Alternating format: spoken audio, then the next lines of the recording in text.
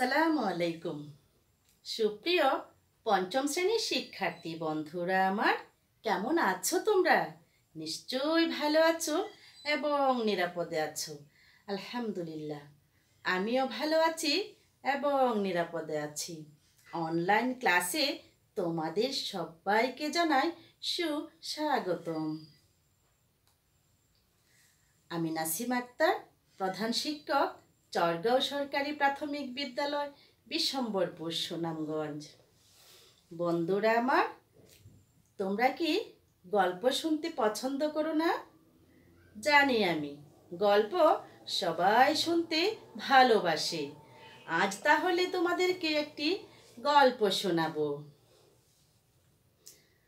গ্রামের এক বাড়িতে অল্প শিক্ষিত এক ধনী লোক বাস করতেন।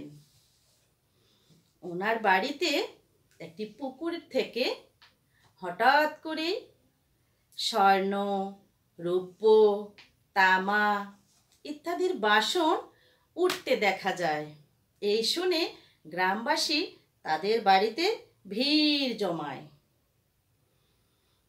এত মানুষের ভিড় দেখে উনি তো মহা মুশকিলে পড়ে যান। কি করা যায়? হঠাৎ করে উনার মাথায় একটা বুদ্ধি আসে। বাড়ির সামনে যদি একটা সাইনবোর্ড দিয়ে দেই, তাহলে হয়তো আমার বাড়িতে এত ভিড় আর থাকবে না। তাই করলেন। দেখি তো বন্ধুরা, সাইনবোর্ডটাতে কি লেখা ছিল?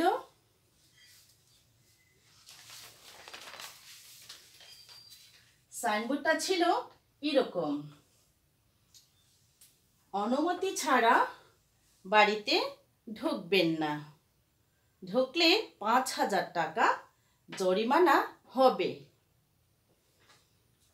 উনি তো নিশ্চিন্তে ঘুমুচ্ছেন। এখন তো আর কোনো টেনশন নেই। কেউ বাড়িতে আর আসবে না, আমাকে বিরক্তও করবে না। কিন্তু না, দেখা গেল এর উল্টো হলো।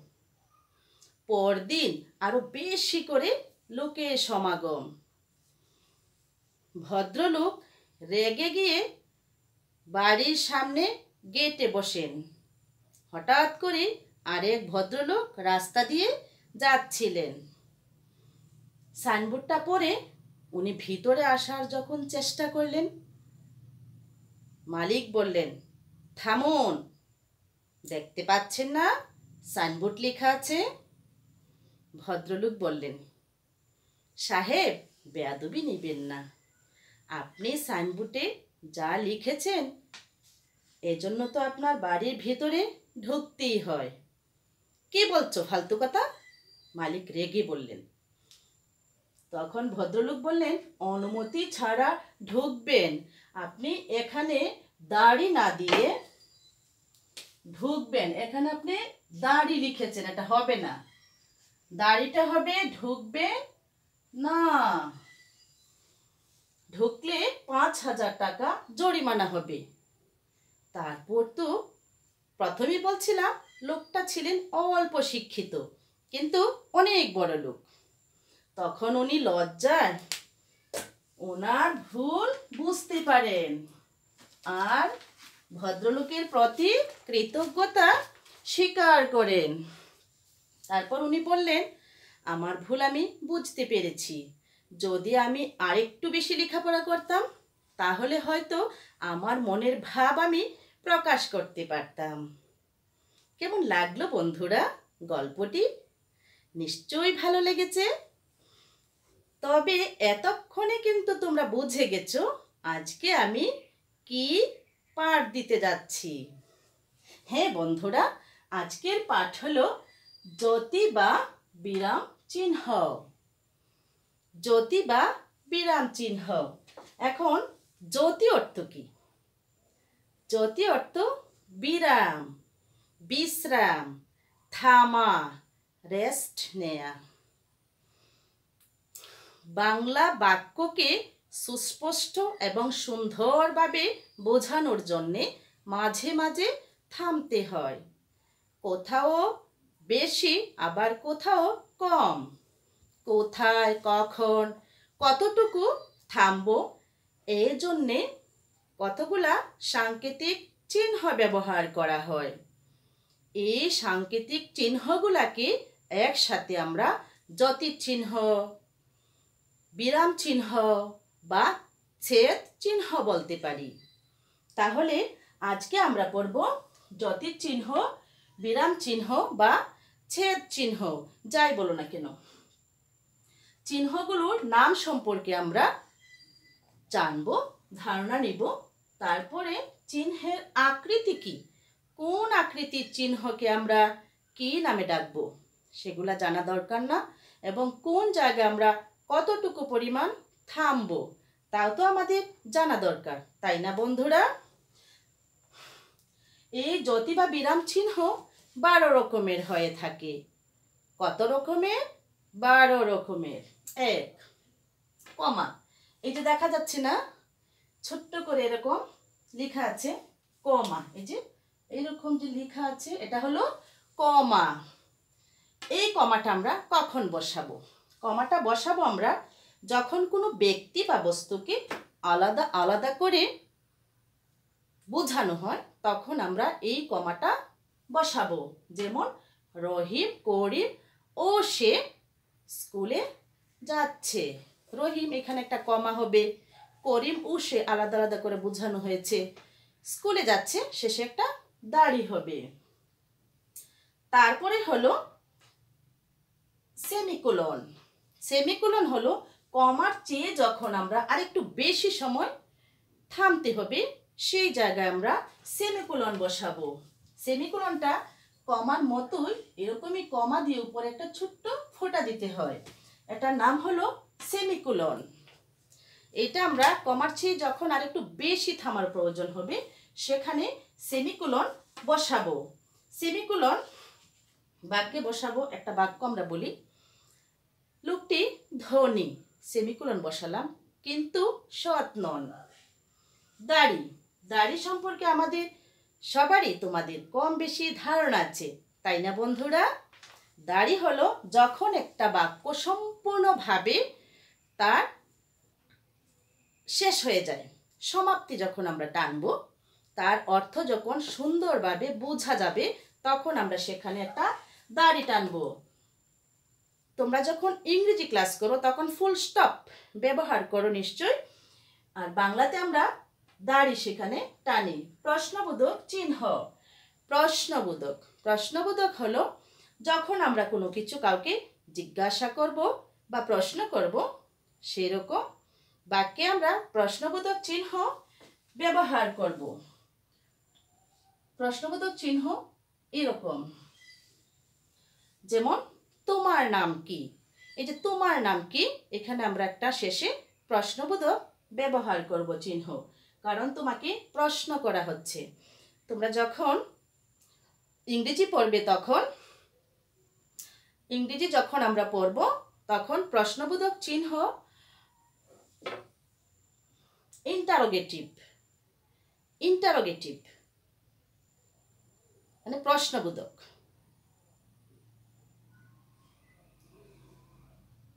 তারপরে বিস্ময়সূচক বিস্ময়সূচক চিহ্ন হলো দাড়ির নিচে ছোট্ট একটা বিন্দু থাকবে। এরকম একটা দাড়ি থাকবে, এরকম একটা বিন্দু থাকবে। এটা হলো বিস্ময়সূচক চিহ্ন। ইংরেজিতে আমরা যখন ক্লাস করব, তখন এটা এক্সক্লেম মার্কস হিসাবে ব্যবহৃত হয়ে থাকে। আর এই যে প্রশ্নবোধক, এটা হলো কোয়েশন মার্কস। আর এটা হলো এক্সক্লেম মার্কস। আমরা যখন কোনো কিছু আবেগে, ভয়ে দুঃখ পেয়ে যখন আমরা প্রকাশ করব কোনো বাক্য, তখন আমরা এটা বিস্ময়সূচক চিহ্ন ব্যবহার করব। যেমন, বাহ, পাখিটি কি সুন্দর। এই যে বাহ বাহ বলে আমরা এই চিহ্নটা ব্যবহার করতে পারি। তারপরে হলো কুলন। এই যে এখানে কুলন। কুলন হলো একটি অপূর্ণ বাক্যের পর আর একটা নতুন যখন বাক্যের অবতারণা হবে, তখন আমরা এই কোলনটা ব্যবহার করব।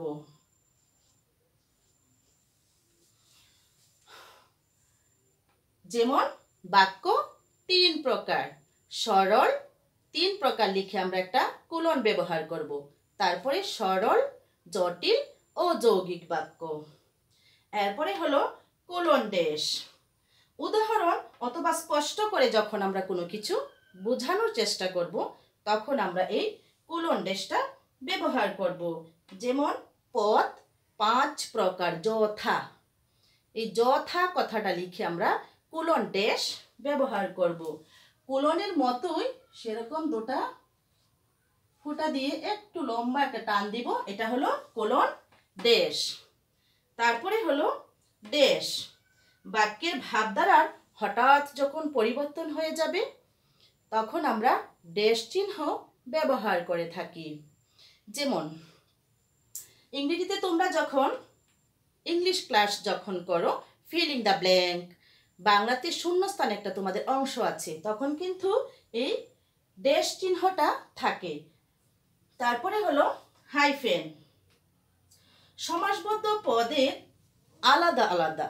সমাসবদ্ধ পদকে যখন আমরা আলাদা আলাদা করে বোঝাবো, তখন এই হাইফেন চিহ্ন ব্যবহার করব। যেমন, মা বাবা, ভাই বোন, গায়ে হলুদ। তখন আমরা এই ছোট্ট হাইফেন চিহ্নটা ব্যবহার করব। তারপর হলো ইলেক। ইলেক বা লোক চিহ্ন। শব্দ বা পদের বর্ণ বিশেষে লোভ বোঝাতে এই চিহ্ন ব্যবহৃত হয়ে থাকে। যেমন যে ঘর থেকে বেরিয়েছে, সে আর ফিরবে না কো। এই যে না কো, দন্ত নয়কার না কো, এর উপর একটা ছোট্ট কমার মতো একটা চিহ্ন দিতে হয়। এই চিহ্নটাকে সাধারণত ইলেক বা লোক চিহ্ন বলা হয়ে থাকে। তারপরে দেখো উদ্ধরণ চিহ্ন। উদ্ধরণ চিহ্ন হলো বক্তার বক্তব্য যখন সুস্পষ্ট এবং সুন্দরভাবে বোঝাতে হয় তখন এই উদ্ধরণ চিহ্ন ব্যবহার করতে হয়। তোমরা যখন উপরে ক্লাসে উঠবে গ্রামাটিক্যাল যখন পড়বে, তখন নেরেশনে এই উদ্ধরণ চিহ্নের সঙ্গে আরও স্পষ্টভাবে পরিচিত হবে। সর্বশেষ হল বন্ধনী চিহ্ন। বন্ধনী চিহ্ন এখানে প্রথম বন্ধনী দ্বিতীয় বন্ধনী, তৃতীয় বন্ধনী এই তিনটা বন্ধনী চিহ্ন আছে। সাধারণত এই বন্ধনী চিহ্নগুলা গণিত শাস্ত্রে বেশি প্রয়োগ হয়ে থাকে। কিন্তু তোমরা যখন গণিতে সরল অঙ্ক করবে, তখন এই বন্ধনী চিহ্নের সঙ্গে আরও বেশি পরিচিত হবে।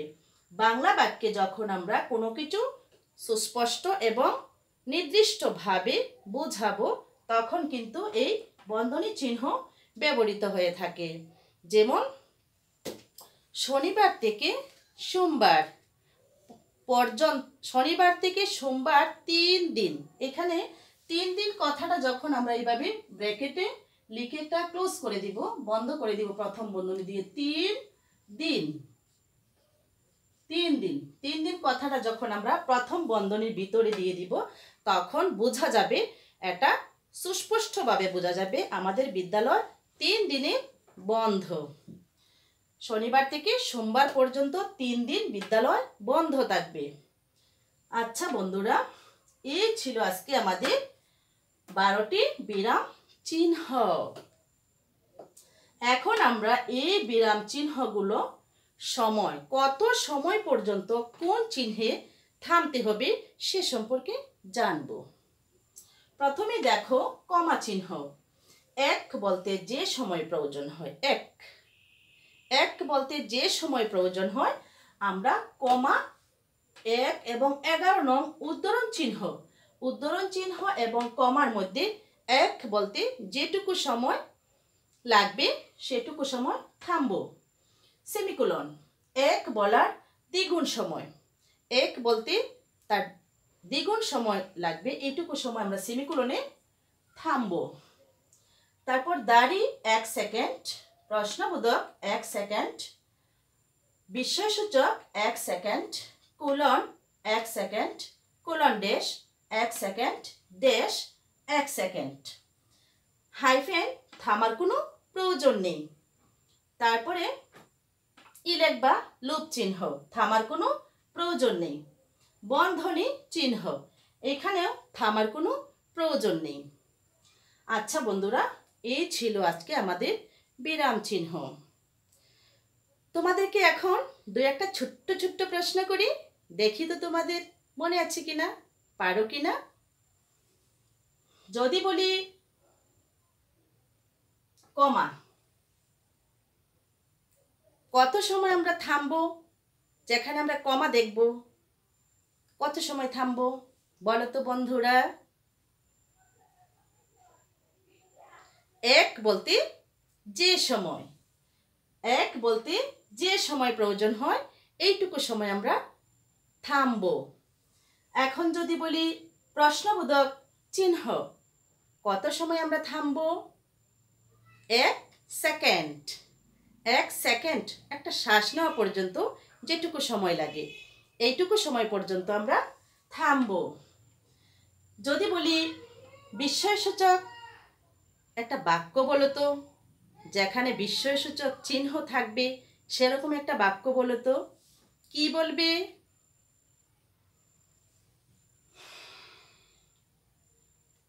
বলো দেখি।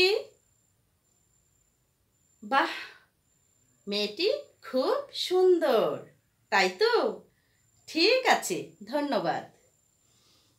যদি বলি, বন্ধনী চিহ্ন, বাংলা বাক্যে কখন ব্যবহৃত হয়? বলে ফেলো।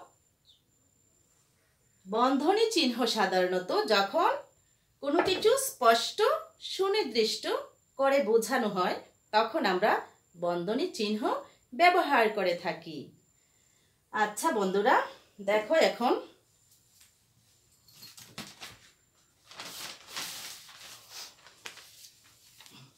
তোমাদের পরীক্ষাতে বিরাম চিহ্নের ব্যবহার আট ন প্রশ্নে এরকমই আসে, তাই না? নিচের অনুচ্ছেদটি যথাস্থানে বিরাম চিহ্ন বসাও।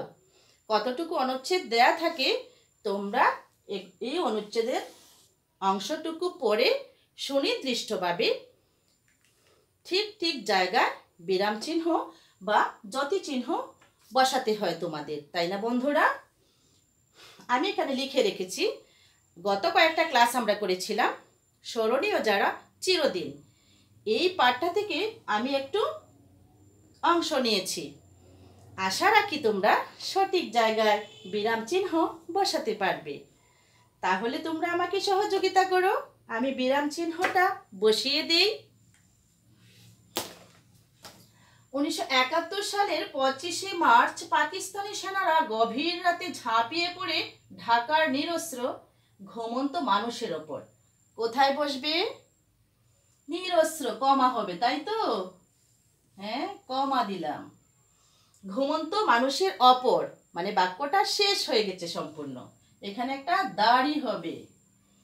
আক্রমণ চালায় ঢাকা বিশ্ববিদ্যালয়ের ছাত্রাবাসে বেড়াকে এখন আমি কোথায় কি দিব? বলে ফেলো। আক্রমণ চালায় ঢাকা বিশ্ববিদ্যালয়ের ছাত্রাবাসে, কমা বেড়াকে কমা আর নানা আবাসিক এলাকায় কি হবে? দাড়ি হবে। ঠিক বলেছ, তোমরা তো বুঝে গেছো। আচ্ছা বন্ধুরা, আজকে বিরাম চিহ্নের কিন্তু আমার প্রথম ক্লাস। আমরা যখন আরও বারবার এটা চর্চা করব, আমাদের আর কোনো সমস্যায় থাকবে না। ক্লাসের প্রায় শেষ পর্যায়ে এসে গেছি আমরা।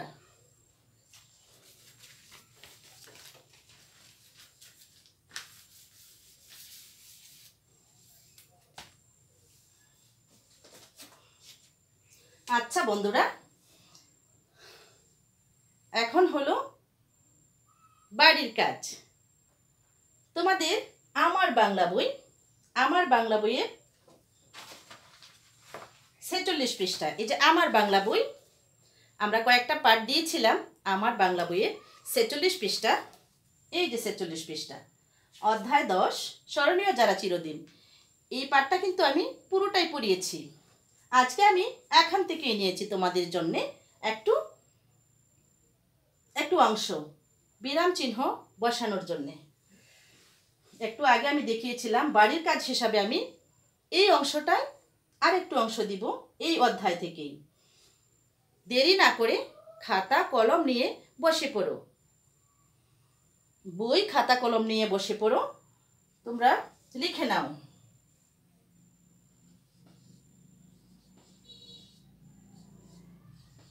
একুশে ডট ডট ডট, পাকিস্তানি বাহিনী।